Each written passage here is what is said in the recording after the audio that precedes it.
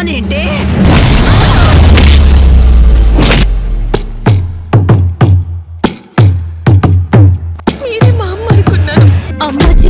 పంపించేసింది. నేను జైలు నుంచి తిరిగి వచ్చే లోపే నిన్నే భూమి మీద లేకుండా